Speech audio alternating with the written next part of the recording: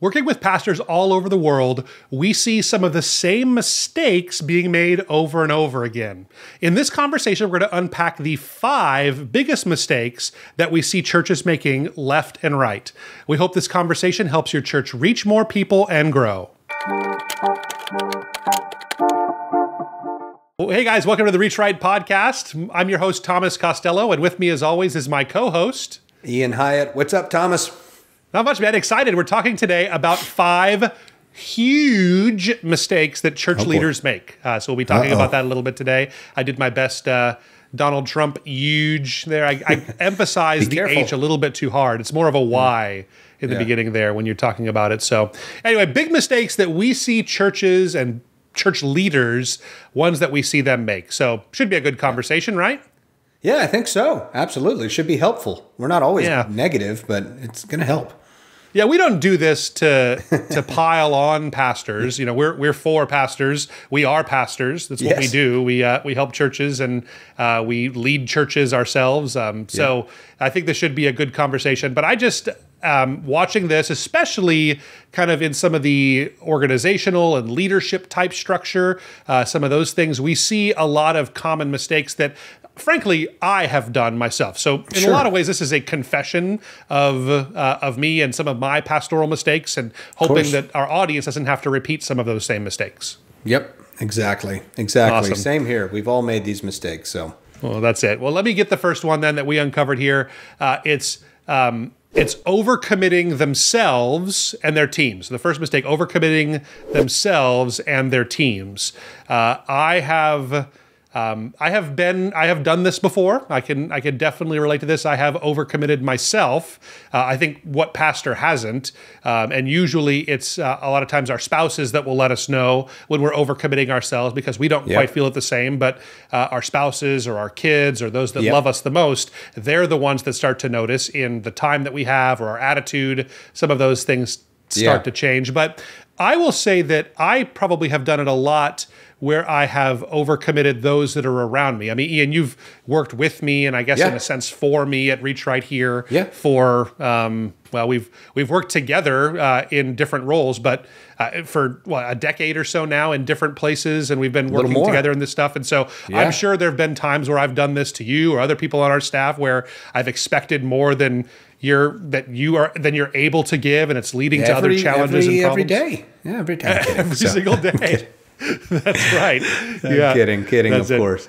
We expect greatness. That's exactly That's what right. it is around here. So, no, but I, I think that understanding for me, what has been important is understanding that not everybody is wired the same way that I am. And I think all of us have this tendency to assume that I do something, other people should be wired to do the exact same thing. Uh, you know, to me, it's life giving sometimes, and my wife makes fun of me to, you know, be watching YouTube videos late at night about how to do better SEO stuff and how Yeah. to how to work better in Excel to, you know, do. I, I spend time doing that, and I have to realize that. You know, I, I'm not the same. Like I, I my Yeah. wife, sometimes she'll look at me and she just kind of has this look of like disgust when she sees what I'm watching.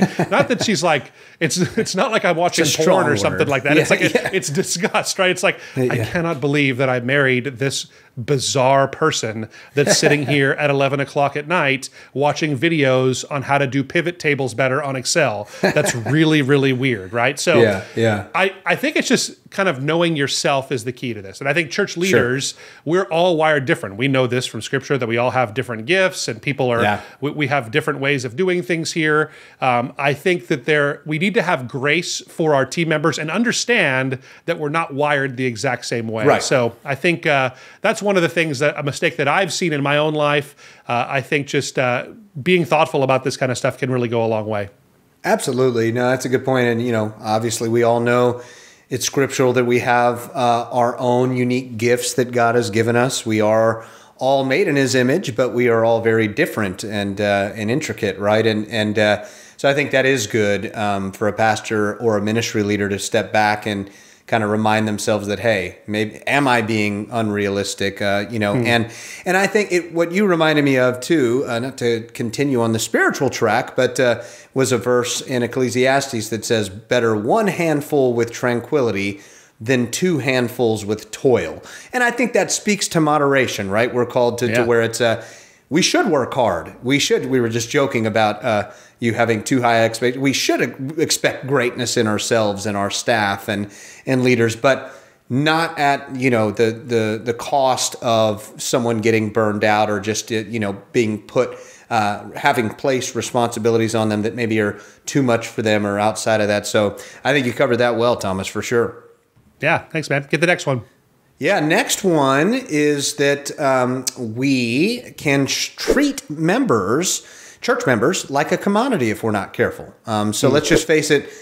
You know, in ministry, we have uh, just like in a business, you have metrics, you have goals, you have um, you have the things that are, I think, right in front of your face: uh, attendance, uh, number of attendance, number of baptisms, number of people in your small groups, number of people serving, all of that. And I think that when success comes, it's easy for us in ministry to um, to begin to you know get a little bit prideful. And now it's good to feel good if you're doing great things. Hey, of course we give God the glory first, but I think sometimes we can get wrapped up in those in our own success in ministry, and then we begin to uh, start um, you know not feeding our if that's the right word uh, our members, our our teams, uh, our other staff. You know, we can begin to to to stop focusing on the things that matter most, like serving people, nourishing them, and so. I think it's just that that balance, uh, a- as we were just talking about in the point before, of you know focus on the results, focus on what you can do better, but don't forget at the end of the day, you know, if people are being treated like a commodity, you will begin to suffer. You know, your church will begin to suffer. You will begin to not accomplish goals. Uh, and so uh, that was a good reminder, I think, to me. Yeah, this, this is another one that I've been guilty of. You know, I think that this, you know, I already confessed my that I'm a Excel guy. I I, Yeah. I like numbers. It's the kind of stuff that I do. I have all these things in my life charted out, and so my natural tendency is to uh, start to think of ministry related things as as numbers, as things that are trying to get to the ultimate goal. And it's so important to remember that people aren't a means to an end.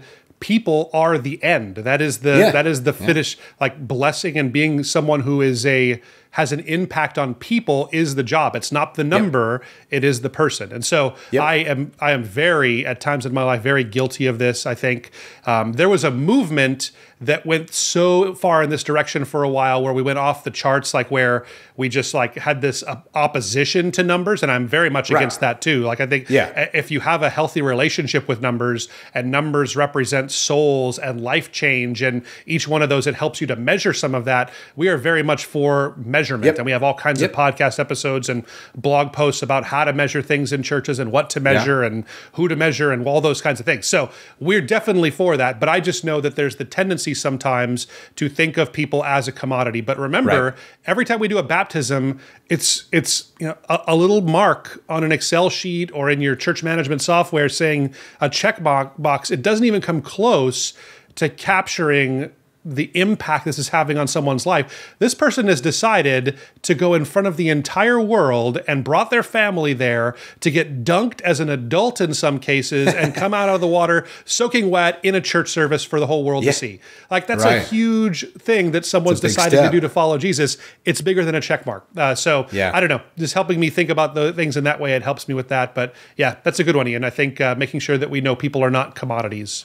Yep. Good. Well, why don't you get the next one? Next one uh, is failing to lead leaders. Uh, another one that I've fallen victim to, I think, is failing to lead leaders. I think for me, my tendency would be when I would bring people around me, whether it was within church or even in my early days here at Reach Right, I would try to bring people around that um, that on our team, or we hired people that were um, that I could train to do what I did. And I get that. Right. That's a kind of normal tendency. I think for for pastors, a lot of times that's the way we would hire someone who does youth ministry. Is someone Yeah. that you know? I guess technically I could go and do youth ministry, but I don't really want to spend every Wednesday. I don't want to go to camp anymore, or you know, Yeah. do those kinds of things, right? So um, we we tend to hire people that could do what we do, and instead what I've found, and we've had so much success as a company, and really it's been the foundation of our growth over the last couple of years, is finding people to lead that are actually much better than me at those tasks. You know, and so we just got to a point where I realized that having people to help with the writing load, like that was Right. hugely helpful for me. And when we hired, we didn't look for someone who was who I could train as a little bit worse than me that I could train to be better, but someone Yeah. that was a much better writer than I was to help carry the load of Right. that. Now, that's not to say we have help with writing. That does that's Sure. not to say I'm not touching every one of our Right. posts and reading them and and getting involved in an editorial kind of role on things, but bringing some of these people on is a huge help. Same thing goes for like our video editing team here. Yeah. So I, I know very little about video editing. And so finding people that were dynamite at this kind of stuff it has been a huge help for us, a huge boon Big to our company to be able to find these kinds of people. So it's what's what's been the pivot is it's it's moving from leading workers to leading leaders. We want to lead the people that are going to be other leaders or are really great at the skills that God has given those people there. Yeah. So um, I, that's been a huge pivot for me, and it's a mistake I see a lot of churches make.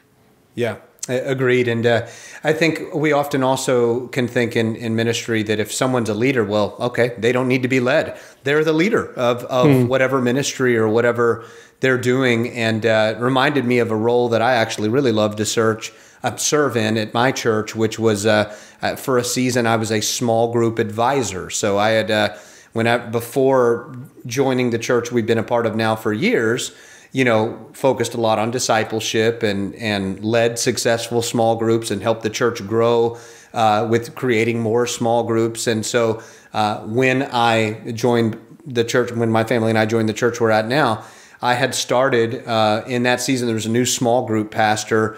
And uh, just started one of our more successful small groups that we saw. The church saw a ton of fruit uh, with, and uh, and it was very fulfilling to me. And so from out of that, they had asked me to be almost a leader to other small group leaders, and I really enjoyed that because a lot of times small group leaders, though they're doing a good job of that, they need a resource, they need uh, a shoulder to to cry on, so to speak, and uh, It's true. Uh, need to glean insight that maybe they're not seeing. So. Uh, anyway, one example of that, uh, not that that's a position you need at your church out there, but uh, be thinking of ways to lead leaders. So I like that. But um, good, stuff. Next one. Okay, the next one is uh, one mistake is building a barrier between secular and spiritual. I think for years now, churches have struggled with this. You know, we've always done it our way, you know, or we've seen success with uh, knocking on doors or um, handing out tracts. I'm not saying there's still not a place for that, though times have changed greatly. Um, it reminds me what scripture uh, came to mind with this is that the apostle paul said you know be all things to all men so that we would win some. And i think what that means is that don't the message stays the same. We know that. Biblically the message is the same but the methods have greatly changed for successful churches. And when i say successful churches that are growing and leading more people to god uh, and so i think it's good to step back and don't just assume because something's done in this secular arena that it cannot work for your church. Um, so, uh, so just because we've always done it this way, oh, you know, businesses only do marketing. That's one of the things that uh, I think we still see as a mindset out there, um, which which makes us sad because we do digital marketing for churches and we've seen churches grow immensely from what we do here at Reach Right. And so um, that's not to say we're scrapping everything uh, a church does, uh, you know, for growth and, and, and ministry when we come in and consult them. But it, you got to broaden your horizons and look at, okay, be open to things like Yeah. digital marketing and not just that, uh, other methods of ministry. Yeah, that's good stuff. Um, to me, the obvious like source of this, and I, I think I made this mistake a lot in my younger years. Um, we would be quick to like this line of secular and spiritual was very pronounced. I feel like in the '90s and when I was becoming a Christian and early 2000s, you know, the thing that young Christian men did or women too, I would assume, is that. Uh, you know, sometimes at the behest of our youth pastors or parents, is you would take all of your non-Christian music and you would dispose of it or you would give it away. but that would you kind of wondered, should I give it away? Is this causing someone else to go to hell? Is that okay? You know, that kind of stuff. We thought about those things, but you know, in reality, I feel like that's such a perfect example of how we tried to make this kind of like a line of demarcation between Yeah. Christian and not was whether or not you listened to Metallica or to Pearl Jam or something like that. Yeah. In, in my case, that was the stuff that I would I was Yeah. having to wrestle with there. But Yeah. um, you know, I I have found I've come full circle on this. I think this is a mistake that I uh, ha- I don't make very often anymore. Uh, is letting the Lord speak to people. Uh, and their own conscience on these kinds of things. And I'm happy to offer Right. advice. You know, if music is causing you to stumble, you probably ought to take a hard look at that. But in most cases, or in many cases at least, it's not the case. Like that's not doing that. I, I can tell you this. So at our church um, that I was pastoring in Madison, Wisconsin, um, as of a couple years ago, uh, we were v- well known for having pre and post service music. Uh, that Oh, yeah. was completely secular. Uh, there was Yeah. totally secular music. It was a very on point, on style for the time. It was the right kind of music, and I cannot It tell you wasn't how many satanic times. heavy metal or anything, but no. Yeah. Not the stuff you listened to, of course, Ian. It wasn't like that. But no, it's uh, it was. Uh, I remember there was uh, Chance the Rapper on there, Yeah, and there yeah. was the Killers were on there, and we had all kinds of stuff. It's just things that were, you know, it, it wasn't obscenity laced, uh, but at Yeah. the same time, it wasn't distinctly Christian. It was a lot about it was uh, there was songs that were love songs and things there, but it was definitely of a different style. But the point of all this is, it's different for if you're in uh, New York City versus Atlanta versus Portland Yeah. versus rural Oklahoma. You're going to choose different music for this. But my point is that we saw people at least a couple of times a month come up and say after they visited that they would comment in their comment cards they would tell me directly that it was so cool to hear Yeah. a song that they wouldn't expect to hear at a church At a church, at yeah. this church maybe- like the stuff that they're actually listening to already My guess is Uh, it and- made them feel more comfortable to ease into your service too before you thump them with a hard message. I'm kidding. That's right. When we we we smacked them over the head with the gospel of Jesus. Yeah, that's exactly right.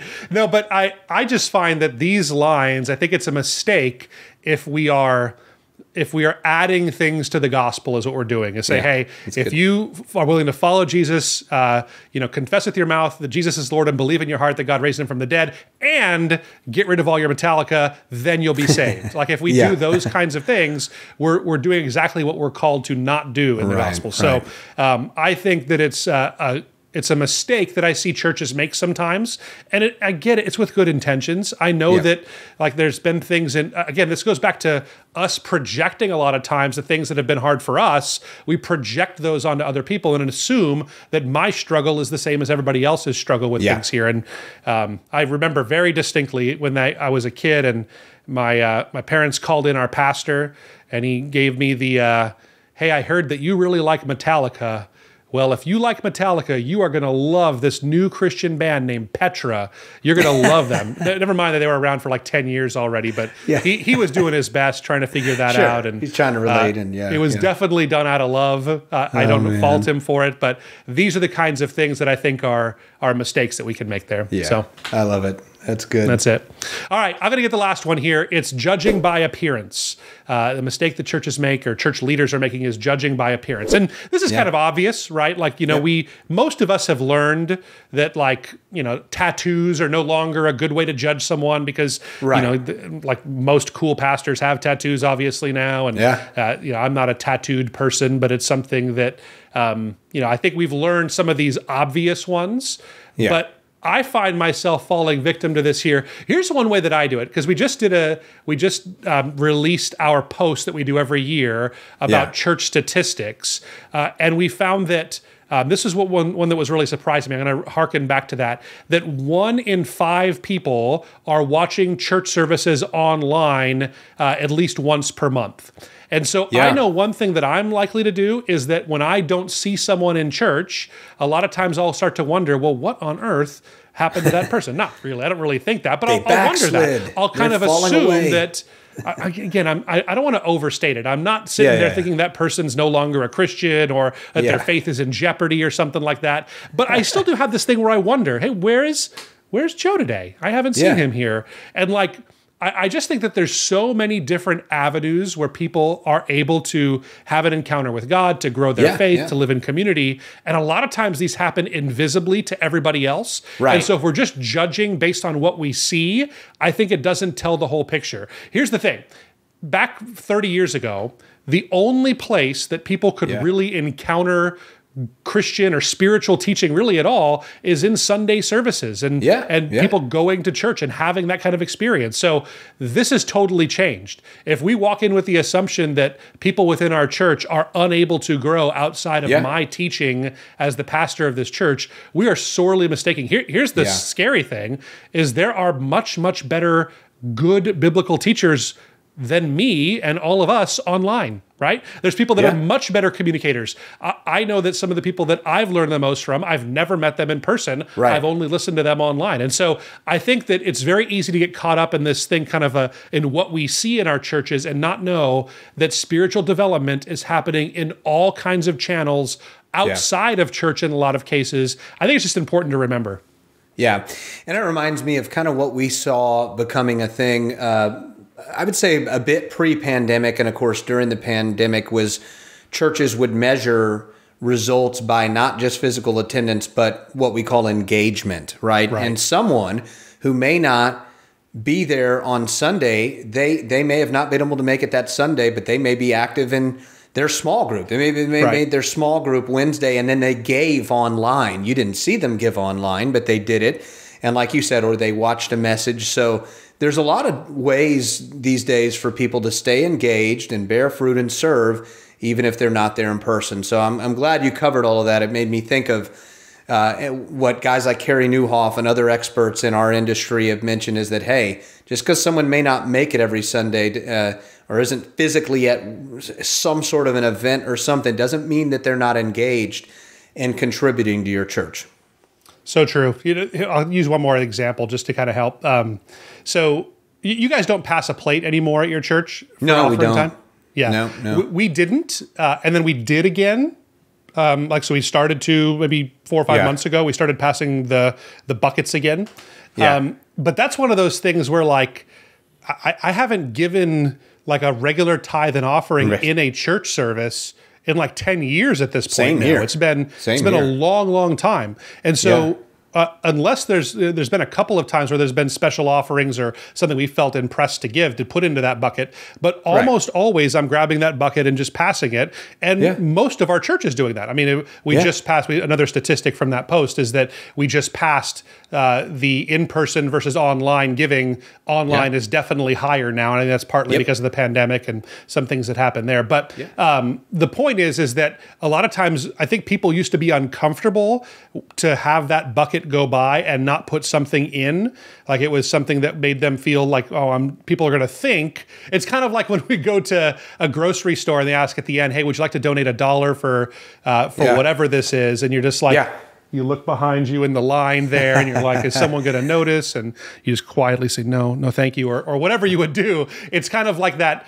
That it, there's like a um, this tendency to judge or Yep. feel like we're judging based on what we say with these kinds of things, and so Yeah. I think it's a mistake. It's something we should be moving away from. So I think it's a Agreed. A good point there. But well, good. I hope it's been helpful for you guys. Uh, the these are the five mistakes that we're seeing most often here. Hopefully, as we're starting out 2023, this will be a helpful uh, kind of kick to get past some of those mistakes there. Yeah. If you're making, let us know in the comments if you are making any other mistakes that you see a lot of churches make. We'd really be interested to see that, and maybe we'll We'd love to hear to, about uh, your mistakes. We'd love to hear about the places that you're failing because we told you about all of ours here. So that's uh, that's uh, helpful there. So anyway, thanks guys for being a part of the Reach Right family. If this has been helpful, please rate, review, subscribe. Let us know in the comments. That helps the algorithm to uh, kind of boost it a little bit more. And we hope to catch you next week.